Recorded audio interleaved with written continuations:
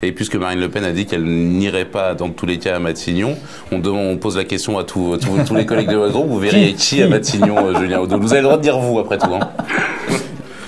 Hop. Bien. Ah, et le bouchon vient de casser. Dis donc. Ça part bien, hein ça, va très bien. C'est du mauvais matériel. Il fallait du chablis. La prochaine fois, on prendra du Bourgogne. Tiens, je suis sûr que les, les bouchons sont plus solides. Les magazines People, généralement. T'as toujours des trucs Céline Dion, ce drame insurmontable qu'elle est en train de traverser. En fait, c'est juste qu'elle s'est fait, elle s'est fait péter son rétro. quand il y a l'article, en fait, il n'y a rien. Mais oui, tu sais quoi? Parce que la France est universelle, monsieur. Voilà. Un sympathisant qui...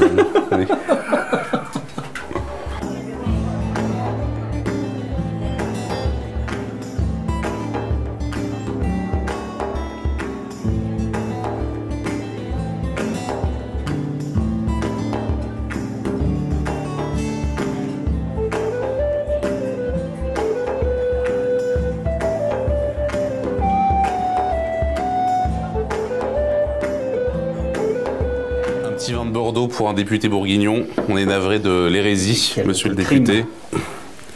Monsieur le député. Merci. Bien.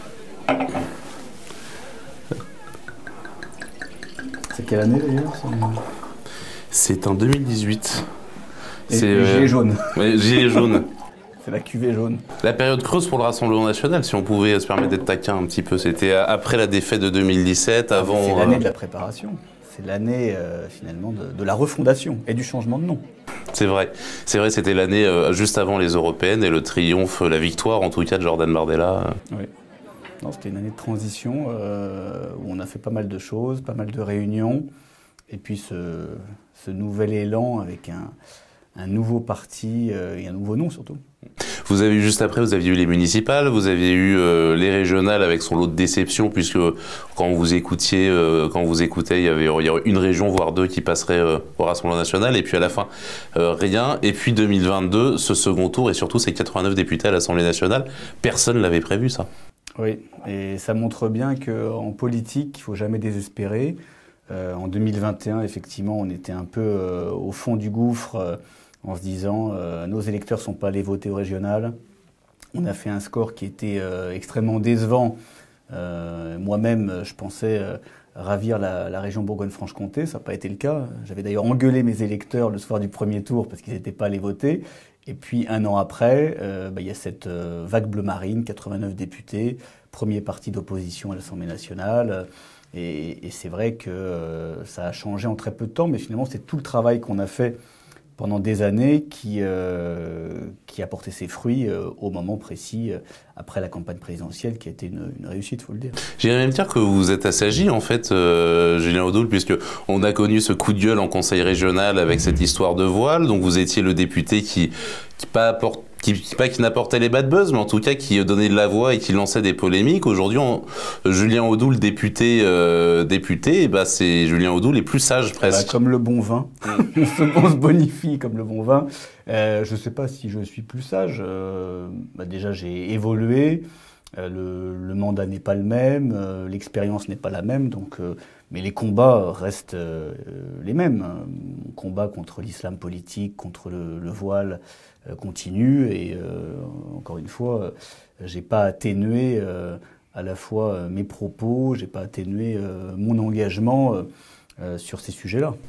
Vous êtes arrivé donc à l'Assemblée nationale, donc tous les hommes étaient en, costume cravate impeccable pour contraster justement avec la Nupes. On va pas refaire le sketch de ils veulent se professionnaliser donc ils mettent des cravates. On a vu un Rassemblement national euh, qui a euh, tenu à se professionnaliser. Alors face à une majorité relative qui n'était plus la chambre d'enregistrement qu'elle était précédemment, face à une Nupes qu'on va qualifier de dépenaillée et adepte de la bordélisation. au fond, stratégie gagnante pour l'instant.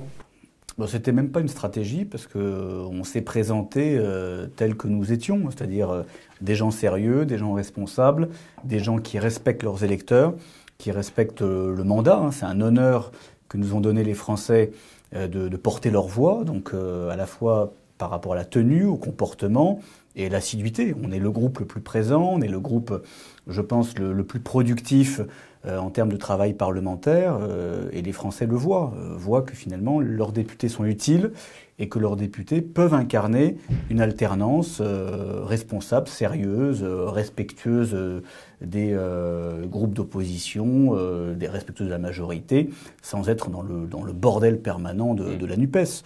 Et, et c'est finalement très bien qu'on ait la NUPES en face pour montrer ce que c'est qu'une opposition de carnaval qui sert à rien, euh, qui n'a qu'un seul but, qui est la, destruction, euh, le démantèlement de nos institutions, et puis une opposition véritable qui euh, veut servir les intérêts des Français. Il n'y avait pas un côté rageant à voir Renaissance et la NUPES s'écharper, notamment d'ailleurs sur la question de la responsabilité de la présence du Rassemblement national au sein de l'hémicycle. C'était d'ailleurs assez marrant parce que chacun se renvoyait la balle de la responsabilité de celui qui faisait le jeu de l'extrême droite. Et pensant à l'extrême droite attendait en se demandant s'ils allaient s'apercevoir que vous entendiez tout ce qu'ils disaient en fait quelque part. Alors l'extrême droite n'attend pas. Vous un peu cet invité Déjà, on, en fait. On n'est pas d'extrême droite. Mm. il faut, faut, quand même le, rappeler. Euh, mais euh, sinon, euh, nous, on est au centre du jeu. Effectivement, mm. tout le monde parle de nous.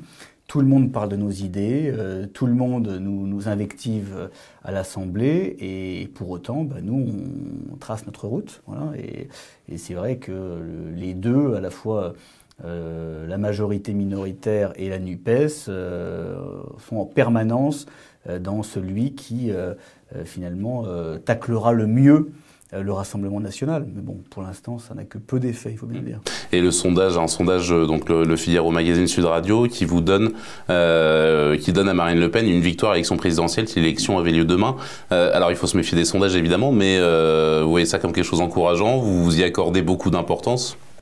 Alors, c'est le résultat d'une dynamique incontestable c'est aussi le résultat d'un contexte de, rejet total d'Emmanuel Macron, de sa politique, du gouvernement, euh, de, la manière de faire de la politique en général. Euh, après, il faut le prendre avec beaucoup d'humilité, de, gravité aussi. Ça veut dire que les Français seraient tentés de nous confier les rênes du pouvoir, donc euh, de redresser notre pays. c'est quelque chose qui ne doit pas nous faire euh, hurler de joie, mais tout simplement de, de redoubler d'efforts pour être à la hauteur de leurs attentes. Donc euh, c'est une indication. Euh, très clairement, moi je prends toujours les sondages avec beaucoup de, de distance, surtout à 4 ans de, de l'échéance suprême. il y a encore énormément de travail, de conviction, de, pour rassurer les Français, de travail de, de fond aussi pour, être, pour leur proposer le, le meilleur projet possible. Donc c'est un encouragement, effectivement.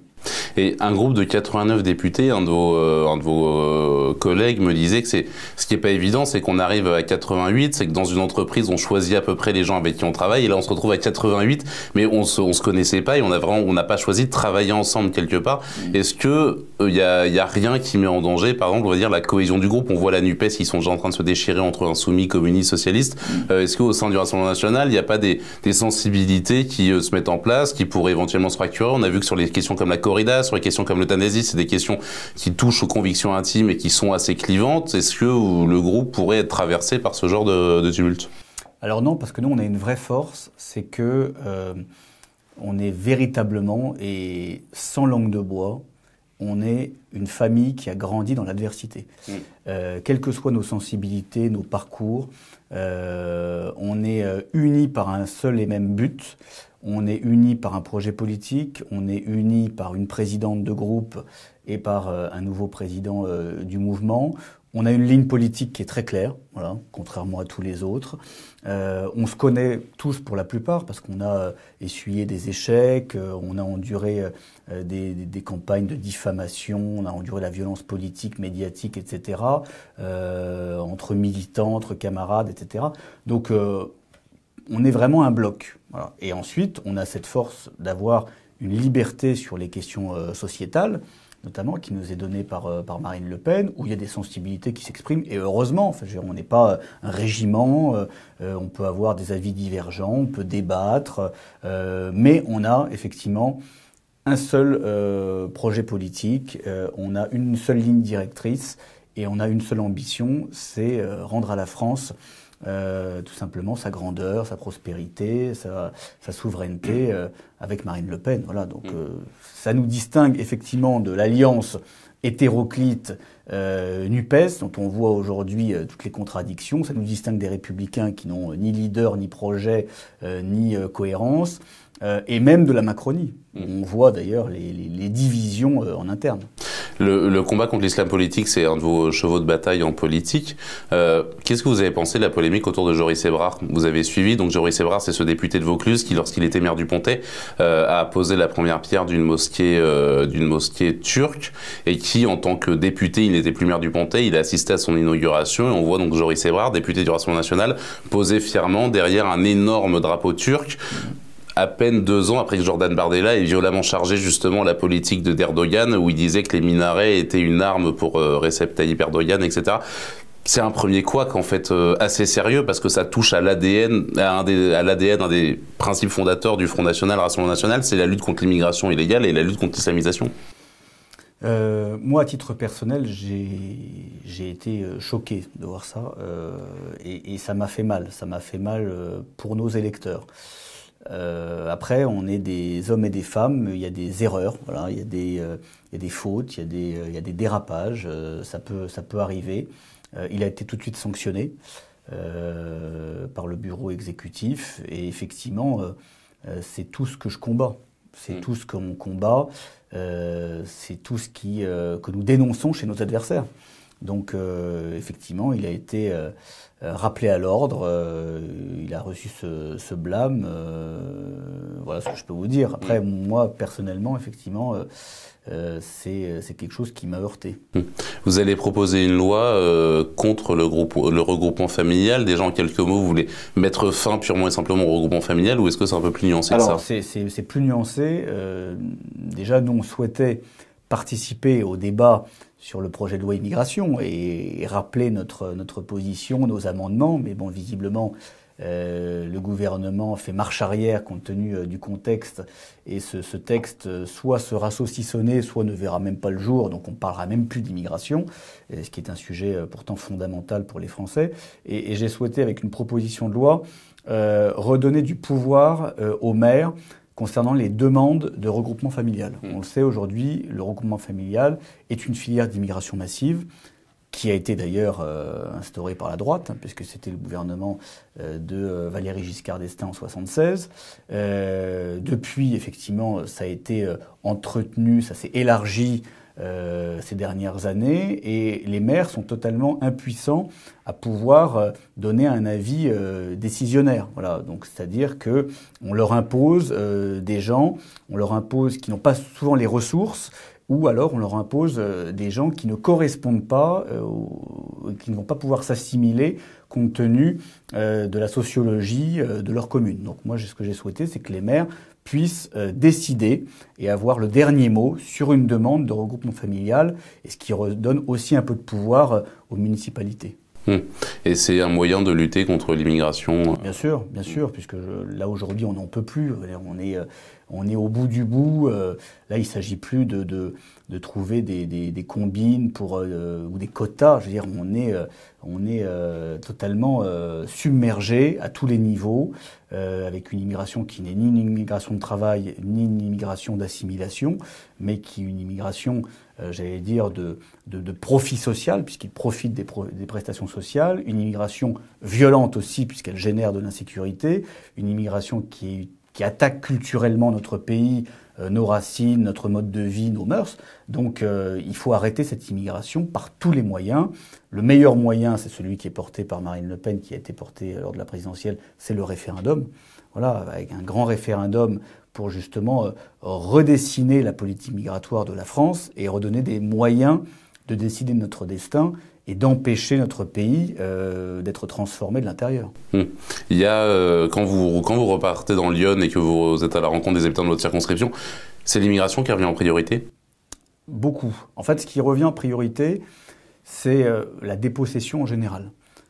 Et, et, je pense que le, le, terme de dépossession, la notion de dépossession, c'est ce qui réunit tous les électeurs du RN partout en France, quels qu'ils soient, quel que soit leur euh, niveau de vie, leur sociologie euh, ou leur étiquette politique antérieure. dépossession de leurs richesses, c'est-à-dire notamment les classes moyennes qui luttent pour rester euh, à un certain niveau pour élever leurs enfants qui n'y arrivent plus, euh, des possessions avec euh, l'hyperfiscalité, des possessions avec toutes les taxes qui aujourd'hui constellent le quotidien des Français, et puis des possessions de notre pays.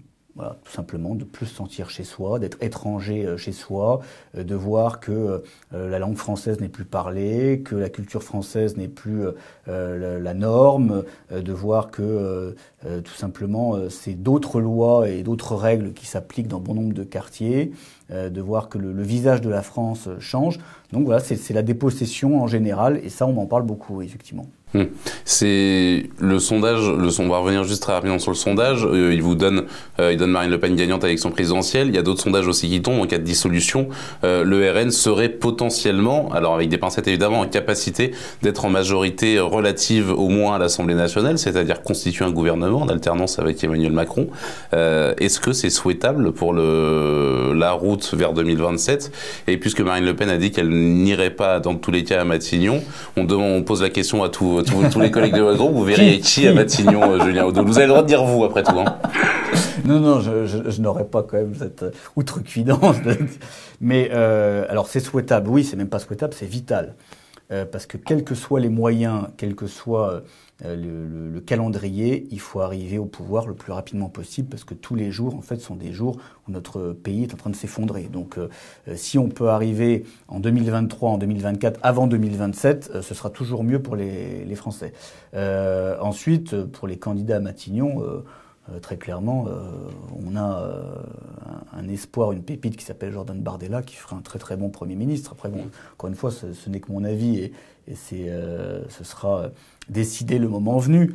Mais, euh, et puis on a euh, quantité de, gens, euh, d'hommes et de femmes, qui pourront faire un, gouvernement d'union nationale avec des compétences qui sont, j'allais dire, un peu plus élevées que le gouvernement qu'on a actuellement autour d'Emmanuel Macron, qui est, qui est calamiteux, enfin calamiteux en termes de, évidemment d'orientation politique, mais même en termes de pauvreté intellectuelle. Enfin, moi hier, on était, je ne vais pas citer son nom parce que sinon ça, je ne vais pas tirer sur l'ambulance, mais on était à un débat en séance justement euh, sur le, revenir sur le, projet de loi confortant les principes de la République, enfin l'enfumage garanti. Et on avait une ministre, mais je me disais, mais elle est ministre, elle ne connaît rien à rien, euh, c'était extrêmement pauvre. Donc je veux dire, encore une fois, euh, on, a tous les, on a tout le personnel politique pour faire beaucoup mieux, il ne faut pas avoir de complexe. Hum. Elisabeth Borne aurait dit en off qu'elle avait un gouvernement à moitié composé de débiles oui, partagés. mais elle a raison. Mais enfin, elle a raison. Ils ont été choisis pour ça. Ils ont été choisis parce que euh, pour être des Playmobil, mm. hein, pour, euh, pour répondre à, à une exigence d'une politique euh, absurde et d'une politique qui est antinationale. Voilà. Donc, effectivement, il faut des gens qui pensent pas beaucoup, qui sont assez dociles, euh, et puis qui, qui, voilà, qui répondent aux, injonctions du, du, patron. Et juste dernière question, Julien Audoul, est-ce que c'est vraiment souhaitable d'aller à Matignon? Parce que si vous êtes en majorité relative, vous n'aurez aucune marge de manœuvre, vous aurez l'intégralité de l'Assemblée nationale contre vous, euh, personne ne voudra s'allier avec le diable, et je mets des gros guillemets bien évidemment. Est-ce que vous risquez pas de retrouver une situation où finalement vous aurez la responsabilité sans le pouvoir? Euh, Alors je ne le pense pas, parce que si on arrivait euh, en tête à l'issue de législatives anticipées et d'une dissolution, je pense que dans le pays, il se sera passé beaucoup de choses. Et euh, ce qui dicte quand même les rapports entre les partis politiques et, et, les groupes à l'Assemblée, c'est surtout aussi l'état d'esprit du pays. Et donc je pense que certains nous rejoindraient dans une coalition pour participer à leur niveau donc au redressement de la France. Et je ne peux pas croire qu'on soit bloqué éternellement. Là, on est bloqué, euh, effectivement, parce que euh, le pouvoir, le président de la République, n'a pas tenu compte du résultat des législatives. En fait, il gouverne comme avant les législatives, et notamment c'est pour ça qu'on a la succession de 49-3, parce qu'il n'a pas voulu écouter le message des Français. Mais s'il avait écouté ce message, il aurait été obligé de changer de politique, euh, de revenir sur des politiques qui sont rejetées, et notamment la réforme des retraites, mais aussi d'autres, pour pouvoir trouver euh, des majorités euh, différemment. Voilà. Là, ça n'a pas été le cas, mais je pense que si nous arrivions au pouvoir, qu'on aurait la capacité de faire venir d'autres élus, d'autres groupes politiques autour d'une coalition de, projets. Merci beaucoup, Julien Audoul. Merci à vous. Bien. Merci à vous, chers lecteurs, chers téléspectateurs. N'hésitez pas à vous abonner à notre chaîne YouTube, à partager ce contenu si vous a plu. N'hésitez pas à vous abonner aux différents réseaux sociaux et surtout à notre newsletter. Vous serez ainsi tenu au courant tous les matins de l'actualité, de tout ce qui se passe dans le France et dans le monde et aussi dans nos magnifiques terroirs. Merci à vous. je, suis pas, je suis pas certain de la formule en fait. Les générations Euh, je, je, je pas- Ah bah déjà, mais qui, qui va aller voir Déjà, il chante comme une casserole. En plus, oui. Il a, il a détruit Dalida.